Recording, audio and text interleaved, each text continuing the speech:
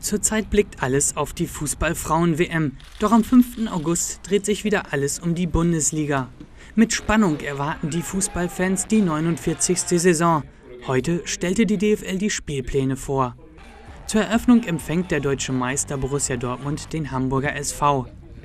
Ob die junge Mannschaft von Jürgen Klopp die Leistung aus dem Vorjahr wiederholen kann und den Abgang von Mittelfeldstar Nuri Sahin verkraftet, wird der Herbst zeigen. Dann kommt am 14. Spieltag der Pokalsieger aus Gelsenkirchen. Eine Woche vorher warten die Bayern. Die starten im Traditionsduell gegen Mönchengladbach in die EM-Saison.